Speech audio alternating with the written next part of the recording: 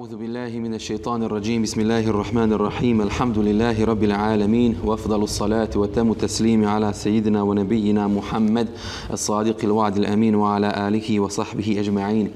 اللهم علمنا ما ينفعنا وانفعنا بما علمتنا وزدنا علما يا عليم. اللهم أرنا الحق حقا وارزقنا اتباعه وأرنا الباطل باطلا وارزقنا اجتنابه وادخلنا برحمتك في عبادك الصالحين. Zahvala pripada Allahu, gospodaru nebesa i zemlje koji nas je počastio da smo od onih koji znaju za njega, koji nastoje da svakim svojim danom života kojeg nam je on uzvišeni dao, njemu odani budemo i da u danima života koje nam je on uzvišeni dao radimo djela s kojima je on uzvišeni zadovoljan. Salavat i selam našem poslaniku, miljeniku Muhammedu sallallahu alaihi wasallam, njegovoj časnoj porodici, ashabima, našim šehidima i svim onima koji slijede istinu do sudnjega dana. Draga braćo i poštovani džemate, mladići djevojke, svi koji nas pratite posebno preko ove virtuelne opcije, s obzirom na to da i dalje ovo stanje na neki način nas ograničava da se okupljamo u našim džamijama i da se zajednički družimo i fizički jedni drugima blizu, koristimo ove blagodati savremene tehnologije pa da se ovako zajednički družimo i da ne prekidamo kontinuitet naših halki u tabačkom mešćidu i sjećamo se našeg poslanika sallallahu alaihi wasallam, dovoljna korist, nadamo se da, da je korist ako boda i nadamo se da je Allah Đelešanu sa nama zadovoljan. Dovoljna korist od ove halke bi bila da donesemo 1, 2, 3 ili 5, 10 salavata na poslanika sallallahu alaihi wasallam. Donositi salavate na Allahovog miljenika sallallahu alaihi wasallam je znak da insan sebi otvara vrata dobra u svome životu. Uzvišeni gospodar je kazao da onaj ko tvrdi da Allaha voli treba to da dokaže slijedeći poslanika sallallahu alejhi ve sellem u svim svojim životnim situacijama, u svim relacijama, u svim odnosima, u svak, na svaki mogući način. I zato samo da donesemo nekoliko salavata na Allahovog miljenika sallallahu alejhi ve sellem ko da koriste i hajre veliki podsjećam i sebe i vas da nam to bude svakodnevna navika i obaveza kako bismo nekako popravili svoj dan i svoj život i bereket u svoj život donijeli. Jer kazali smo puno puta, znam da insan lahko zaboravlja, to je da nemoguće vezati se za Allahovog miljenika, a da ti Allah Đelešanuhu milost ne spusti u tvoj život. Insan kada uđe u vodu, ukvasi se. Kada insan uđe u blato, uprlja se. Kada insan dotakne Kur'an, kada spominje poslanika sallallahu alejhi ve sellem, mi spominjemo i mi smo se okrenuli nečemu što je beričetno. I zato tražimo bereket u svome životu kroz vezu sa Muhammedom sallallahu alejhi ve sellem. U jednom ajetu uzvišeni gospodar kaže Ja juhe ledine amenu Inna Allahu wa malaikatahu yusalluna 'alan nabi ya ayyuhalladhina amanu sallu 'alayhi wa sallimu taslima. Allah i, posla, Allah i meleki donose salavat na poslanika. O vi koji vjerujete, i vi šaljite salavate i selame Allahovom poslaniku. A u jednom hadisu poslanik sallallahu alejhi ve sellem kaže da onaj ko donese jedan salavat na njega, Allah donese na njega deset salavate. Sad je pitanje šta je Allahov salavat na nas? Najljepši odgovor na to je kuranski ajet gdje uzvišeni kaže Huwallazi yusalli 'alaykum wa malaikatu baituhu li uhriđaku mina zulumati len nur. Kad Allah na vas donosi salavat, to znači da vas izvodi iz tame na svjetlo.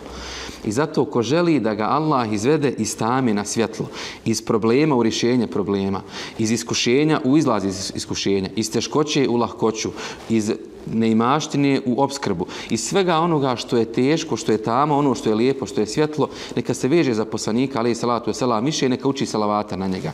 A jedan veliki islamski učenjak, imam Sehavi, je kazao u jednoj svojoj knjizi al qaulul badi' fi salati al habibi shafi' ovako se djelo zove i on je to kazao.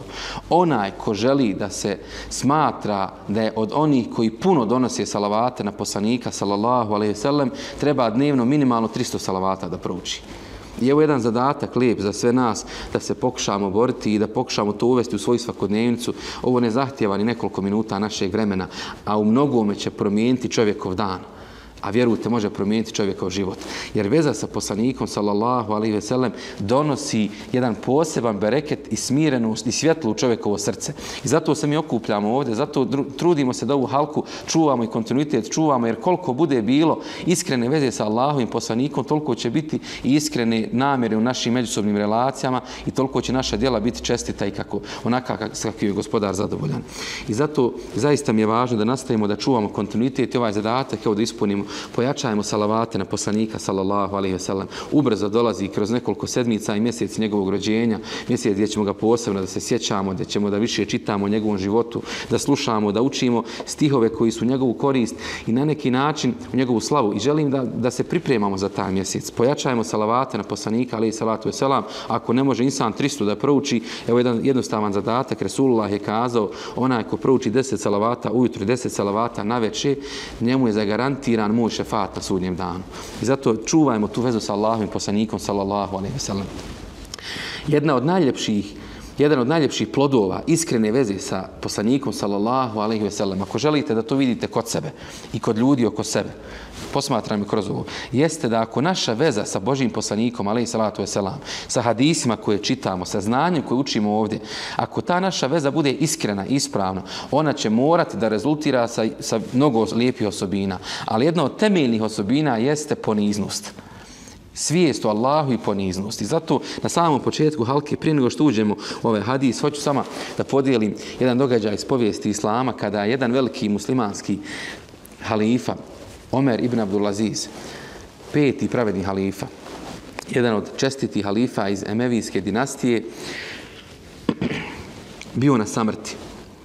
I njemu su predložili neki njegovi savjetnici ljudi oko njega da bude ukopan u blizini poslanika sallallahu alejhi ve sellem. A onda taj velikan insan koji je doveo islamsku državu na vrhunac svoje snage i moći, u takvu situaciju gdje se socijalna pravda uspostavila, niko nije bilo siromašni, nije bilo ljudi koji su zekat mogli da prime, subhanallah. To je ono čemu naša vera teži, da izgrađujemo društvo u kojem su svi jednaki, društvo u kojem svako ima šansu, društvo u kojem vrije, važe i vladaju vrijednosti. Tome su nas naučili naši čestiti prethodnici. Omer ibn Abdulaziz je bio halifa koji je to do vrhunca doveo. I takav insan koji je u historiji Islama dobio nadimak peti pravednih halifa, potomak Omera radijallahu anhu, drugog pravednog halife, dobiva priliku da bude ukopan u blizini poslanika sallallahu alaihi sallam. I šta odgovara ona insan koji se odgojio salavatima i salama na Božeg poslanika sallallahu alaihi sallam? Kaže on, tako mi Allaha, draže mi je da njega uzvišenog sretnim sa svim grijesima, osim sa širkom, jer širka Allah ne prašta, nego da pomislim da sam dostojan da budem ukopan u blizini Muhammeda sallallahu alaihi sallam. I zato kad je veza sa Allahom i poslanikom iskrena, kad je salavat iskren, kad se trudimo, pa i kad griješimo, pa i kada zaboravimo, kada posrnemo, ali smo iskreni, trudimo se, mora to rezultirati poniznošću. Jer insan koji je iskren je ponizan pred Allahom, svjestan je da je on rob, da je Allah rab. I zato jačajmo tu vezu sa poslanikom sallallahu alaihi sallam. Molim Allah da nas na tom putu pomogne, da nam olakša, da se okitimo njegovim ahlakom, a da mi vezu sa njim ojačamo i bereket sebi u život donesemo kroz to što ćemo ga svakodnevno da se sjećamo salavatima i selama na njega poslanika sallallahu alaihi sallam. Proučimo sada, kao što smo običajali, dovu ili fatihu pred dušu imama Buharije, ću hadijsku zbirku čitam, ridaj lillahi ta'ala al-fatiha. Bismillah.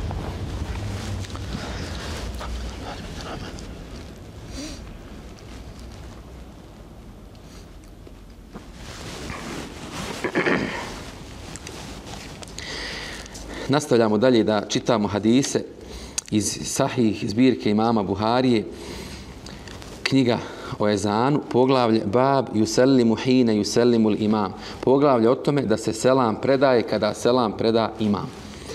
Pa stoji ovako prije samog hadisa, imam Buharija navodi وَكَانَ ibn Umar radijallahu anhuma يَسْتَحِبُّ إِذَا سَلَّمَ الْإِمَامُ أَنْ يُسَلِّمَ مَنْ خَلْفَهُ Abdullah ibn Omer radijallahu anhuma je smatrao, preferirao, volio je, mislio da je lijepo kada imam preda selam i da tada oni koji su za njega istovremeno selam predaju. Dakle, ovo je govor Abdullah ibn Omera, onoga koji je najdoslovniji, najdosljedniji slijedio poslanika sallallahu alaihi wasallam, sin Omera radijallahu anhu. Hadis 838 glasi ovako.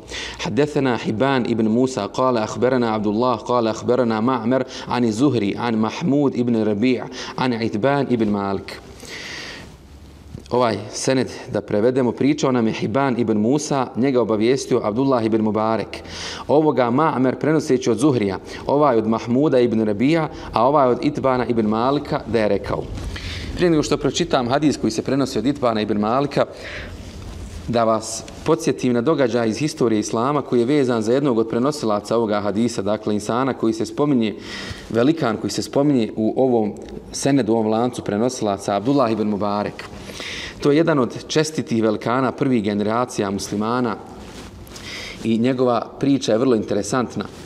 Za njega se veže puno nekih događaja i puno situacija u kojima je pokazao veličinu i svoga imana i svoga znanja i tako dalje. Jedan od njegovih lijepih izreka jeste kada je kazao nama je potrebnije, nama je potrebnije malo edeba nego puno znanja potrebnije insanu malo edeba, malo lijepog ponašanja nego puno znanja. Jer koliko ima ljudi koji mnogo znanja imaju, koji su i magistri, i doktori, i hafizi Kur'ana, ali nisu to pretočili u svoje ponašanje. I zato je izuzetno bitno da zapamtimo ovo kao princip. Potrebnije nam je i bolje da insan nauči malo edeba i ponašanja nego puno znanja koje neće biti prevedeno, prevedeno u njegovoj praksi.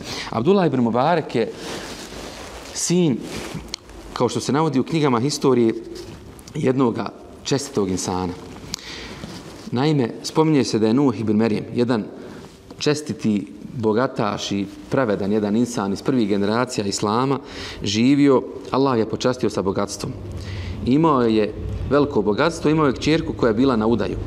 Jednoga dana krenuo je na putovanje i zadužio je svoga slugu koji se zvao Mubarek.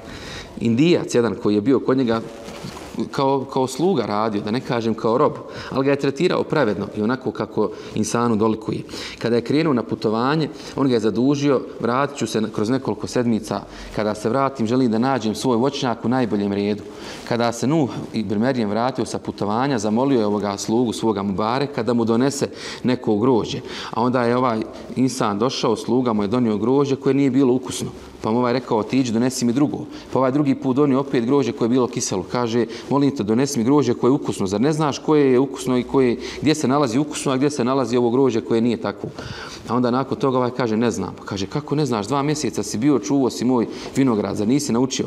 Kaže, gazda, gospodaru, gospodine, kako god da oslavimo, ti si mene zadužio da ja čuvam tvoj voćnjak, a ne da jedem. Kaže, ja za ova dva mjeseca nijedan groz nisam stavio u svoja usta. I nakon toga ovaj, ovaj Nuh ibn Merijem je vidio veličinu njegovog ponašanja, njegovog hlaka, njegovog poštenja i zadivio se, oduševio se njegovim ponašanjem. Počeo je da ga intenzivnije posmatra u jednom trenutku kada nije mogao da odluči za koga će svoju čerku da uda, jer kaže, uvijek je razmišljao, puno je bilo njegovih prijatelja koji su, ga, koji su prosili njegovog čerku, nije htio nikome da se iskvari, a nije znao znao što je najbolje rješenje za nju.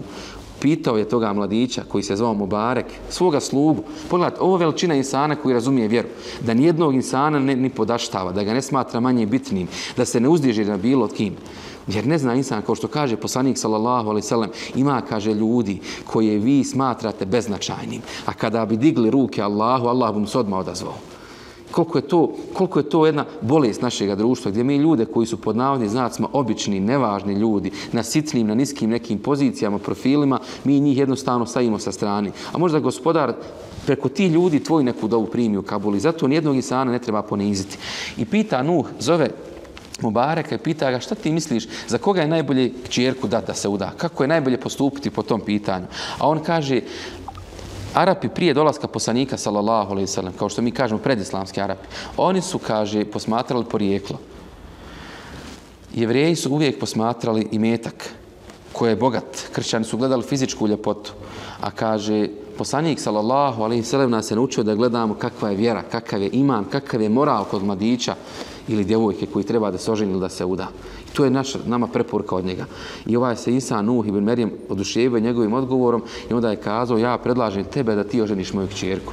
A on je kazao, kaže, kako ja, ja sam tvoj obični rob i sluga. Kaže, ne, ti imaš nešto što je vrednije nego mnogi bogataši oko nas. Imaš svijest o gospodaru, znanje i poštenje. Ja znam kad je tvoja vjera iskrena da ćeš ti voditi računa o mojoj čerke. Više nego neko ko ima imetaka vjere nema. Ovo je rezon vjernika koji je razumio vjeru. I kada, su, kada je razgovarao sa Hanumom, sa čerkom, oni su na to pristali. Iz tog takvog braka se rodio Abdullah, sin Mubarekov. I zato je uvijek bitno, tražimo bereket ne kroz relacije i poznanstva sa ljudima. Iako treba se družiti sa ljudima, tražimo uspjeh u životu ne kroz nešto što, što može biti e, kratkotrajno, kroz, neki, kroz neku e, relaciju koja možda na prvi pogled mislimo da je važna, da je, da je uspješna. Treba se družiti s ljudima, treba razgovarati, treba komunicirati, ali se bereket u znanju, u poslu, u kući, u porodici, u djetetu, u imetku, samo da Allaha može dobiti. To mnogi ljudi ne razumiju.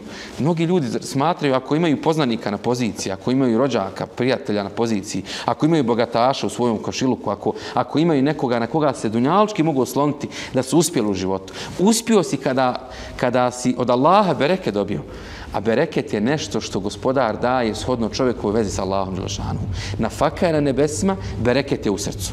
Koliko je srčana veza iskrena i jaka, toliko će Allah čovjeku da spusti bereketa. I zato, ako želimo dobro u svojim porodicama, ako želimo dobro u svome potomstvu, ako želimo dobro u ambijentu u kojem živimo, u našem društvu, nek nam bude uzor Mubarek, Abdullahu i Mubareku, dakle otac, Abdullahu otac Mubarek.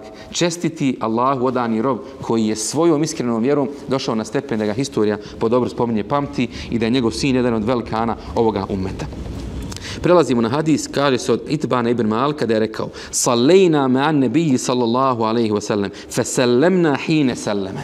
Kratak hadis, jednostavan, koji glasi ovako Klanjali smo s poslanikom sallallahu alaihi wa sallam a selam smo predavali kada bi on predavao selam. Ovaj hadis je vrlo kratak, vrlo jednostavan.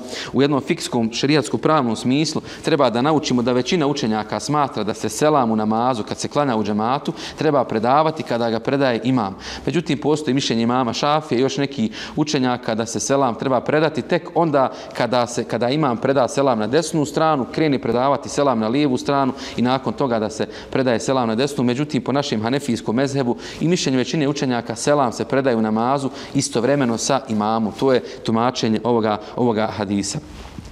Iz ovoga hadisa kratko hoću samo dvije da kažem važne poruke. Prva poruka jeste pogledajte kako nas ashabi poslanika sallallahu alejhi ve sellem i prije svega naš Resulullah sallallahu alejhi ve sellem uče redu, sistemu, hijerarhiji i proceduri. Dakle, Imam je taj koji predvodi. On ide ispred nas i mi ćemo ići iza njega. Mi ga pratimo u svemu. I možda je namaz najljepša prilika da vidimo koliko zapravo Islam insistira na uspostavljanju reda koliko islam insistira na tome da se poštuje hijerarhija, da, še, da se poštuju procedure, da se sluša onaj koji je na poziciji iznad nas. I ovdje hoću jedno važno pravilo. Dakle, uvijek budimo od onih koji redu spostavljaju koji redu pozivaju, koji su za pravila, koji su za procedure, koji su, koji su jednostavno ljudi od sistema, hijerarhije, koji nastoje da uvijek ispoštuju sve ono što se od njih traži.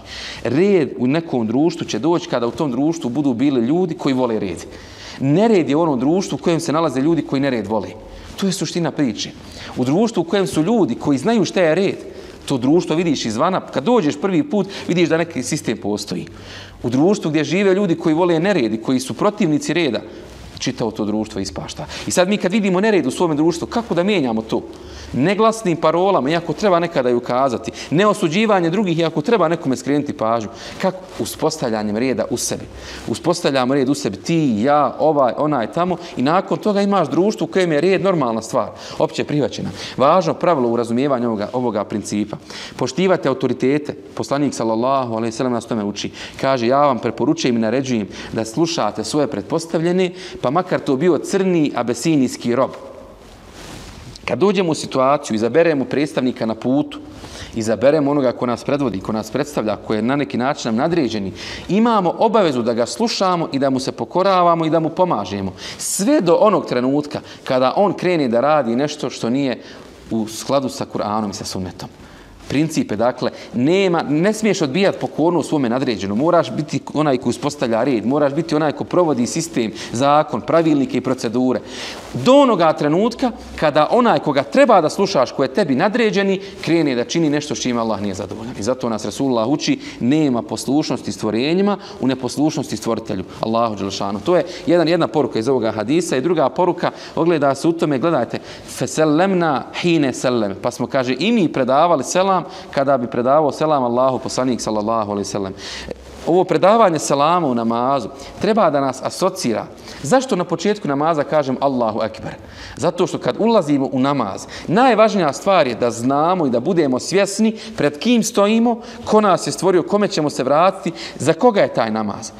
Dakle, da budemo Allaha svjesni. Jer pasite, insan koji nije Allaha svjestan u namazu, kako će ga biti svjestan izvan namaza? Zamisli studenta, recimo, treba da vodi računa da ne prepisuje na fakultetu. Ili zamislite radnika koji treba da vodi računa da ne krade na svome poslu. Ili zamislite, ne znam, kolegu koji treba da vodi računa da ispuni svoju obavezu.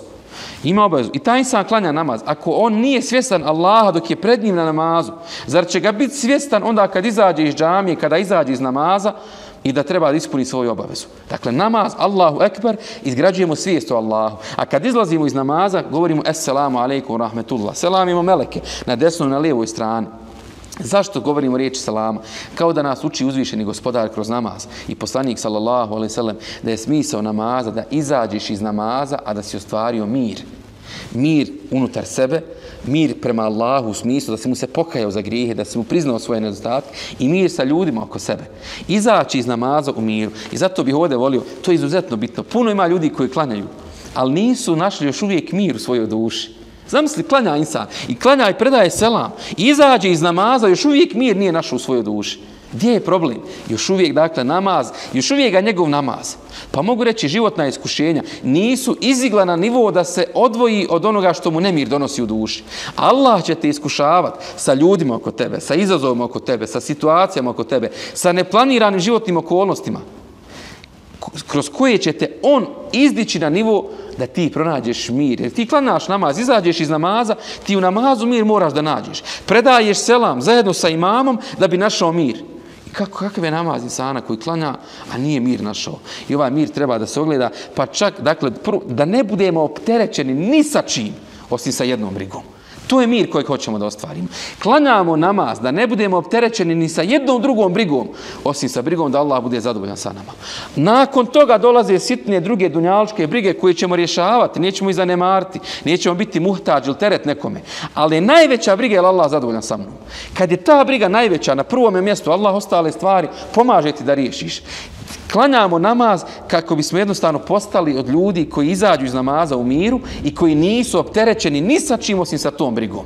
I onda vidiš kako ti Allah olakšava. Kad gospodar u Kur'anu opisuje ljude s kojima je zadovoljan, pa govori da je on svjetlo nebesa i zemlje. I onda gospodar opisuje ljude te koji su u džamijama, koji padaju njemu na seđdu, koji obavljaju i jutrom i noću namaz koji njega se sjećaju stalno. I kaže gospodar u tim ajetima na, sljedećem, na sljedećoj stranci, kaže gospodar riđalu la tulhihim. Kaže to su ljudi koje la tulhi tijaratun wala bay'un an zikrillah wa iqami salah. Kaže to su ljudi koji kupoprodaju dakle prodaju kupuju dakle dunjalučki žive. A ljudi koji su uzeli Allahu svjetlo, koji su mir u namazu našli, to su ljudi koji su u dunjalku svojim tijelom, sa ljudima su svojim tijelom, u poslu su sa, sa svojim tijelom, sa svojim jezikom, sa svojim umom, razmišljanjem, ali su sa svojim srcem, sa svojim bićem, oni sa Allahom. Kaže gospodar, to su ljudi koje ni, kupo, ni, ni kupovina, ni prodaja, ni trgovina ne odvraća od sjećanja na Allah i od namaza. Evo je cilj da kakva god situacija, kakvi god ljudi da dođu oko tebe, da ti budeš i dalje sa Allahom, bićem svojim. I da te ono što je izvan tebe ne pokoleba da budeš Allahu odan. Prirodno je ljudski da insana nekad neke stvari poremeti. Ali klanjaš namaz da te te stvari koje će te nekad poremetit, ne izbace potpuno iz takta. I u tom jednom kontekstu zaista je poruka svima nama. Izdignemo se iznad nekih stvari, iznad nekih niskih prohtjeva, iznad nekih sitnih rasprava, iznad interesa nekih, pri, nekih ljudi, nekih priča koji nisu dostojni insana koji klanja klanja namaz pred Allahom Đelešanu. Budimo takvi da pronađemo mir unutar sebe u svom namazu. I onda nema te situacije, nema tog insana koji te više može izbaciti iz takta. Kaže jedan velikan Ibn Taymi radi Allah i rahmetullahi ali jednu odličnu misao je kazao. Kaže ovako, šta mi mogu moji neprijatelji, subhan? Pogledaj kad insan nađe mir u svojoj duši. Kaže, ako me ubiju, ja sam šehid na Allahovom putu. Ako me protjeraju, to je turizam prilika da vidim Allahu u zemlju. Allahu stvaranje, ako me bace u tamnicu, to mi je osama sa mojim gospodarom. Nema bezizlazne situacije za vjernika. Nema situacije koja ti nemir može donijeti. Može kratko trajno. Ali ako ti je namaz kako treba, tvoj mir je trajan. Tvoja veza sa Allahom je tvoja snaga. Tvoja ljubav prema Allahu je tvoj oslonac. To je tvoja nada. I zato izađeš iz namaza da se mir ostvari. Ostvari taj mir. Pa čak i u situaciji kada ti na neki način, e, kada, kada, kad si u ljutni, kada ti neko tvoj mir remeti, naljutite, nastoj da opet nađeš suštinski mir i smisao. Jedan lijep primjer za ovo, nedavno sam čuo, Jedna majka u Turskoj kaže ima djece čet, pet sinova, svi su hafizi Kur'ana. I kaže, pitao je, ko je koji je bio put, kako, kako si uspjela to, osim dove i truda i rada i odgoja. Kaže, učila sam dovu gospodaru i radila sam sa njima, ali ima jedna stvar za koju, kaže, posebno misli da mi je olakšala od gospodara svih svjetova. Kaže, šta je bilo to? Kaže, kad god su me naljutili, kad god su mi, što mi kolokvijalno kažemo, izvukli živce, nikad ih, kaže, nisam proklinala, nego bi kazala da Bog da postal hafizi Kur'ana. Naljuti me dijete, kažem da Bog da ti men hafiz bio.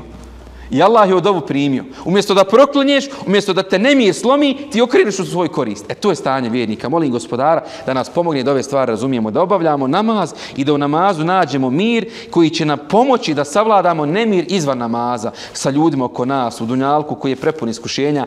Tad će taj namaz biti snaga. Tad će taj namaz biti naša radost i tada će naša vjera biti zaista iskrena i ako Bog da ispravna. Molim Allah da nas na tom putu pomogne. Pojačajmo salavate na poslanika sallallahu alaihi ve sellem, makar 10 ujutru ili 10 najvećih salavata. Ojačajmo tu vezu, pripremajmo se za mjesec njegovog rođenja gdje ćemo pokušati da ojačamo srčanu vezu sa Allahom i poslanikom, da što je moguće više suneta primijenimo u našem životu i pokušajmo da kad klanjamo namaz i kad predamo selam, sjetimo se da je red odlika muslimana i da je on onaj koji sluša, koji doprinosi dio rješenja sve do onoga trenutka dok neko ne čini grijeh i neposlušnost Allahu Đelešanuhu i s druge strane izađemo iz naših namaza u miru ako ne nađemo mir unutar sebe vjerujte, ako ne možemo naći mir unutar na namazu, unutar sebe, dok učimo Kur'an, u džami, u, to, u tom šaputanju sa Allahom, nema, nema, nema mjesta gdje možeš mir da nađeš. Nemojte dopustiti da vas slome ljudi oko vas, da vas nepravda slomi, da vas dunjaluk slomi, da vas iskušenja polome i da, na, da budete nemirni.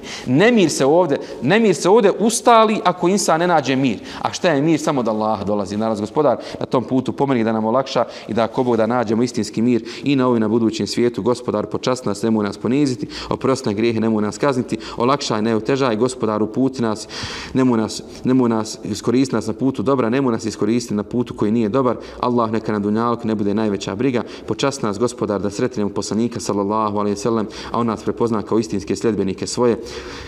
Gospodar, ako mi zaboravimo tebe, nemoj ti zaboraviti nas. Subhane rabbike rabbil izzati amma yasifun wa salamun alal mursalin walhamdulillahi rabbil alamin. Al-Fatiha.